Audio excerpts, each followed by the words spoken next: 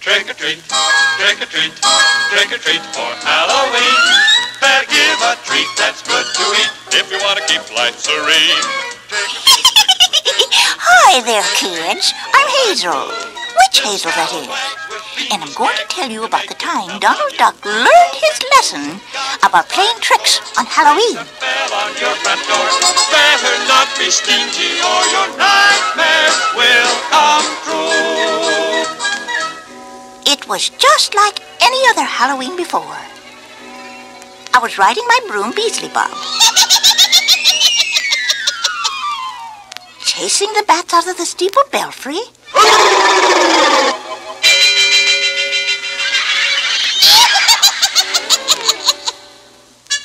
and scaring any black cat who might trot across my path.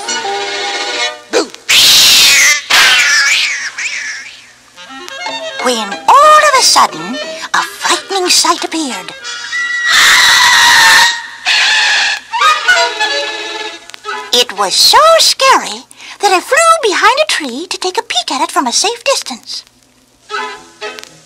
What manner of ghoul is this? Why, it was just Huey, Dewey, and Louie, dressed up to go trick-or-treating at their Uncle Donald's house, for they'd hoped to get lots of candy from their Uncle Donald.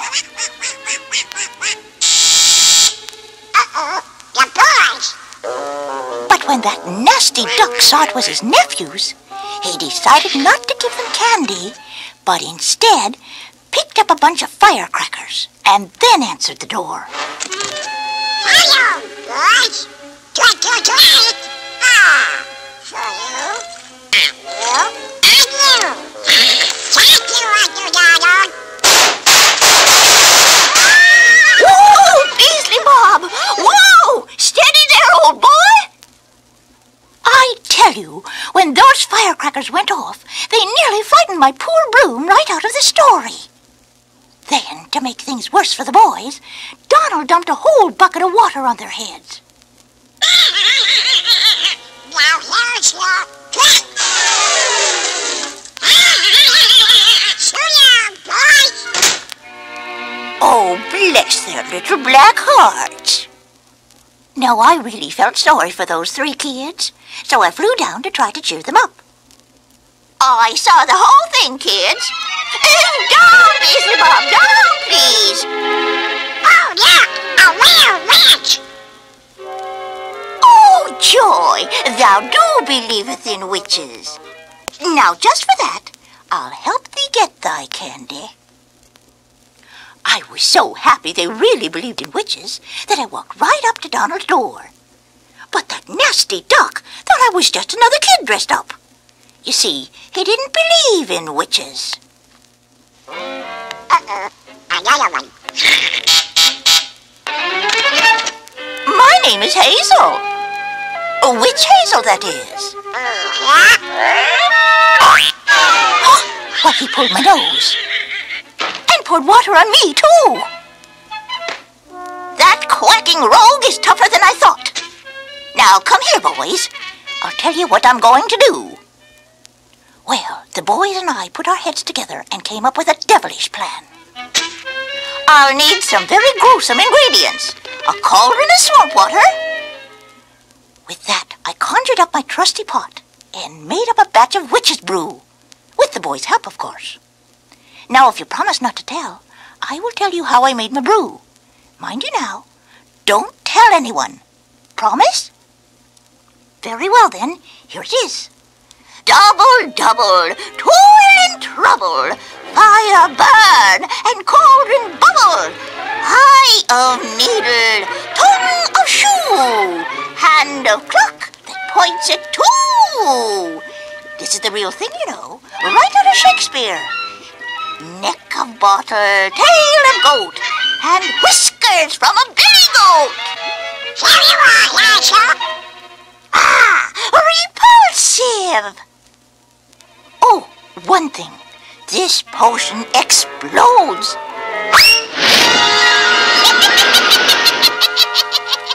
but tastes great.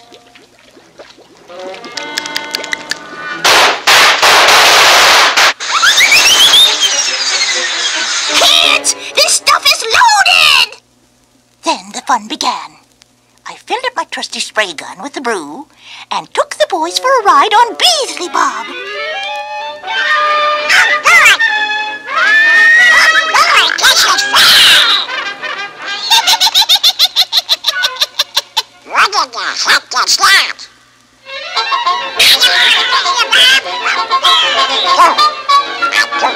What. Was that duck ever surprised to see us riding around on a broom? Trick or treat, trick or treat, trick or treat for Halloween. Better give a treat that's good to eat if you want to keep life serene. Trick or treat, trick or treat, trick or treat, trick or treat, trick or treat the whole night through. Little scalawags with fiendish gags can make it tough on you. So when ghosts and goblins by the score ring the bell on your front door, better not be stingy or your nightmares will come true. Now that was fun. Flying around on a broom is a lot like riding on a magic carpet, only it's more of a sporty model. oh, well, back to my story. That Donald Duck was really upset by what he'd just seen, for now he knew I was a real witch, and his attitude changed. Now, are you going to treat or not? Yes, ma'am. Right away.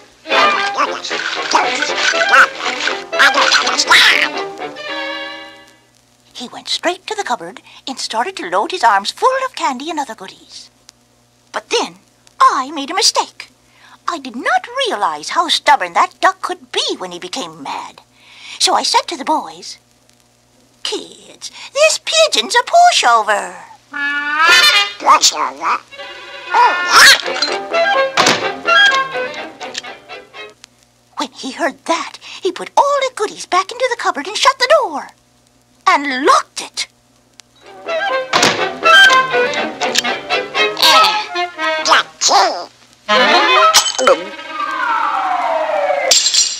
He swallowed the key. That was all I needed. Mm-hmm. I just been a itching to cast a spell on you. That duck had it coming, so I took my spray gun, and with Beelzebub's help, I squirted the witch's brew on his feet and said, Hocus pocus, magic shower, put his feet within my power.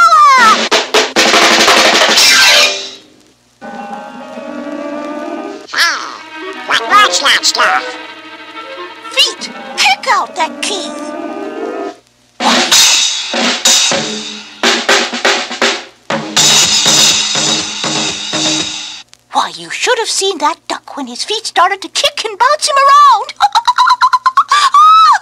Just trying to make him cough up that key. Yippee! Look at him dance! Oh, dance with your feet just as fast as you can. Donald was a jumping and a flopping around.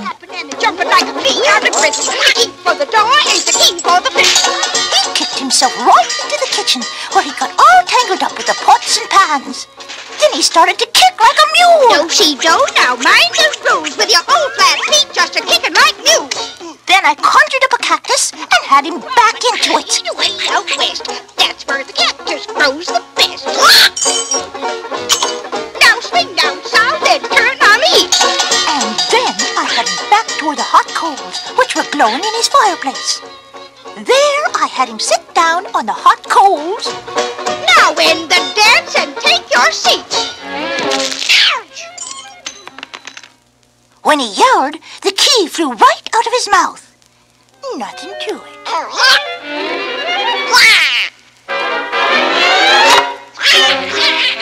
Why, that stubborn duck grabbed the key and this time threw it under the cupboard door. Now you've made old Hazel mad. So I sprayed his feet again and said, I'll cast a spell that's double grim. Smash that door down, feet, with him! Get out. Get out. Get out.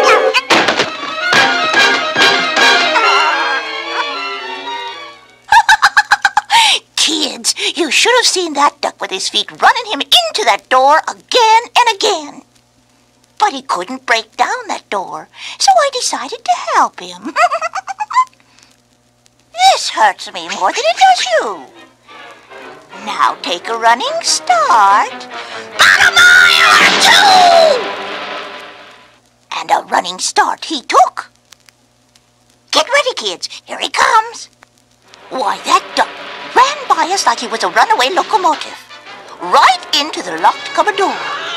That door didn't stand a chance. Why, goodies were scattered all over the room. I thought he'd listen to reason. Right in the middle of the pile of goodies lay Donald Duck, still saying, Come, Beelzebub, it's nearly dawn. Oh dear, I mustn't be late. Goodness me. Goodbye. Goodbye, kids. goodbye now before I say goodbye to you, Donald learned his lesson the hard way about tricking instead of treating. So if you should ever have trouble with a trickster on Halloween night, remember, I'll still be around flying on my broom. And if you decide to be a trickster yourself, you'll never know if that witch at your front door might turn out to be me. When ghosts and goblins by the score, ring your bell or pound your door. Better not be stingy or your nightmares will come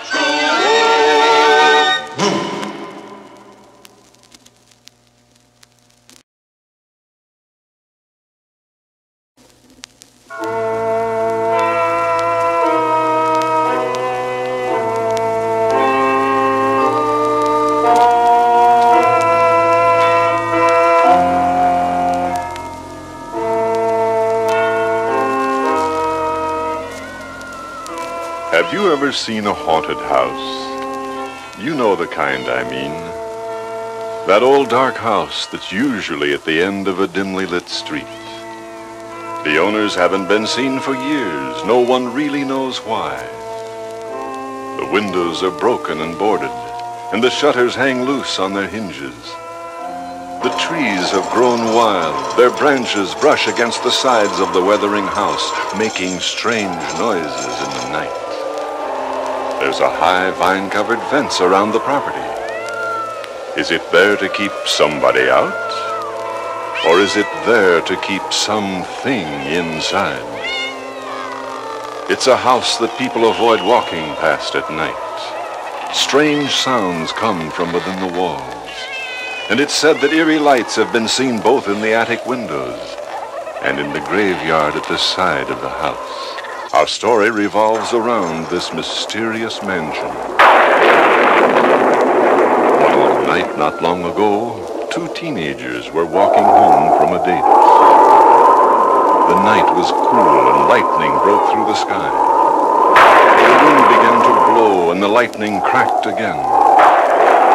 Thunder rolled across the heavens and changed this pleasant evening into a night to be remembered. Karen held Mike's hand tightly as they began to walk faster down that dark street. The lightning struck again and illuminated the front of the old mansion. It began to rain. Mike and Karen ran toward the old house, through the old iron gate, and onto the porch for protection. Protection? If only they had known. Oh, Mike, look at that rain come down. We'll never get home on time. Sure we will. It's not quite midnight.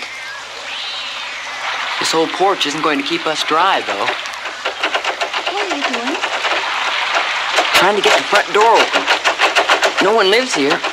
We can wait inside until the storm's over. Not me. I'm not going in that old house. I'd rather stay out here and get wet. There. Come on, don't be afraid.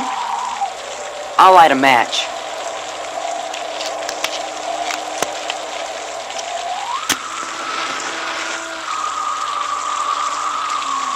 I'll be. This house is still full of furniture. It's as though someone still lived here. There's a candelabra. Light some candles. Good evening. Who said that? When, when hinges creak in, in doorless chambers, and strange and frightening sounds echo through the halls. Whenever candle lights flicker, where the air is deathly still. That is the time when, when ghosts are present, practicing their terror with ghoulish delight. Welcome, foolish mortals, to the haunted mansion. I am your host, your ghost host. Kindly step this way. There's no turning back now. You will not be harmed, but you will not be released until you take a tour of my home. We have so few visitors. Live ones, that, that is.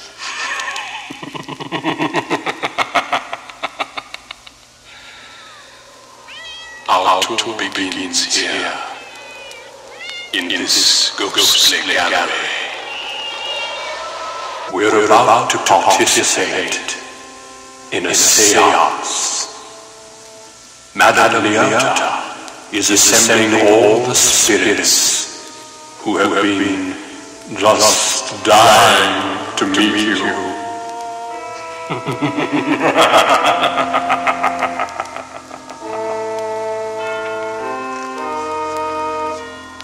Madame Leota, the medium who was chanting the plaintive incantations, was quite unique.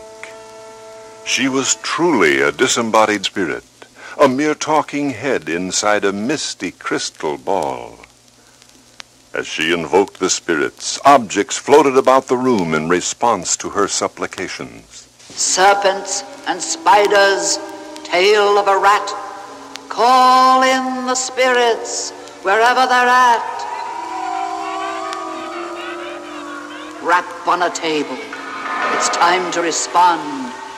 Send us a message from somewhere beyond. Goblins and ghoulies from last Halloween. Awaken the spirits with your tambourine. Creepies and crawlies, toads in a pond. Let there be music from regions beyond.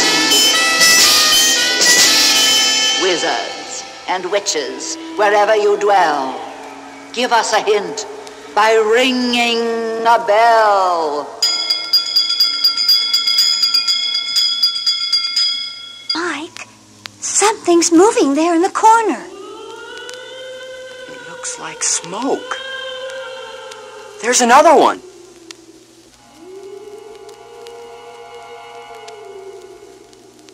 Come now. We must leave this cozy little circle. For the spirits have received your sympathetic vibrations and are beginning to materialize. The ghost host led Mike and Karen through another doorway and onto a balcony overlooking a grand hall.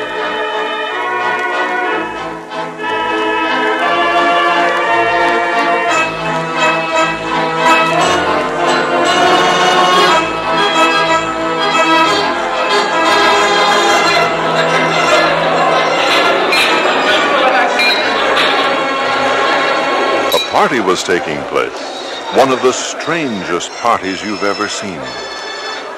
There was a long dining table covered with decayed food and withered flowers. Cobwebs were everywhere. It seemed to be a birthday party. And when the birthday ghost blew out the candles on a cake, several other ghosts disappeared. They reappeared when the ghost inhaled again. And there was an elderly lady rocking and knitting. When she rocked forward, she disappeared. When she rocked back, she too reappeared.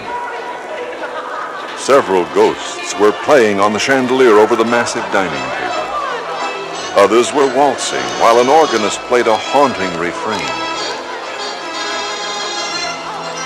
This is crazy. I don't believe what I see. Why did we ever come in this house? There's a door at the end of the balcony. Come on. Watch your step. The rain's made everything slippery. The candles went out again. Just leave them. We're outside now. Everything's going to be okay. There's some steps down at the far end.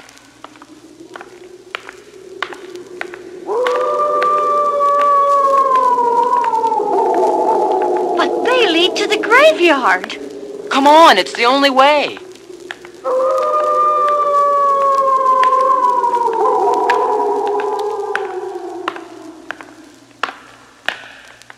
Our adventurous pair descended the steps to the ground level and began their walk through the private burial grounds, trying to find their way out of this living nightmare. They passed an old caretaker holding a lantern, too frightened to speak. His dog was cowering at his feet. Haunts materialize and begin to vocalize. Grim grinning ghosts come out to socialize. Now don't close your eyes and don't try to hide. For a silly spook, they sit by your side. Shrouded in a dark disguise. They pretend to terrorize. Grim grinning ghosts come out to socialize. As the moon climbs high the dead trees, the midnight spree. Creepy with eerie eyes Start harmonize. Grim grinning ghosts come out to socialize. When you hear the knell of a requiem bell, we're coasting where spirits dwell. Restless bones etherealize. Rise as spooks of every size.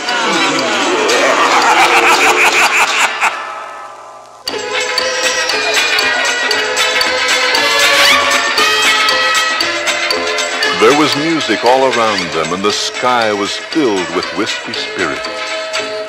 They passed a group of minstrels who paid no attention to their presence. One was playing a bagpipe, another a harp, and another a horn. And there was a hunchback playing a flute, and a cadaverish drummer pounding out the tempo on a gravestone. A group of cats and a family of owls joined in with spooky harmony. There was a king and a queen balancing a teeter-totter on a gravestone, and a duchess sipping a cup of tea. They saw a hearse stuck in the mud.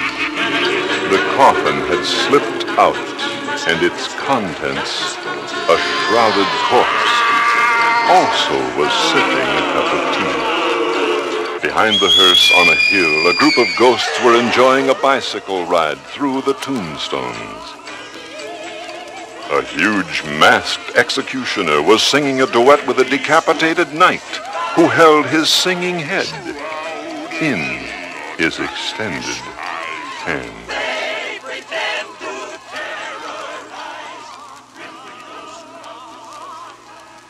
Did you enjoy your visit?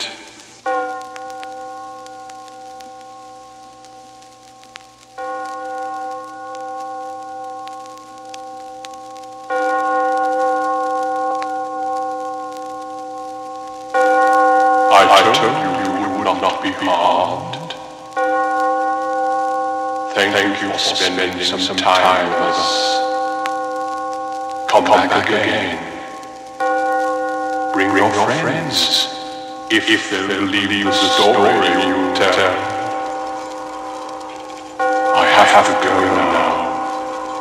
It's midnight. Pleasant dreams.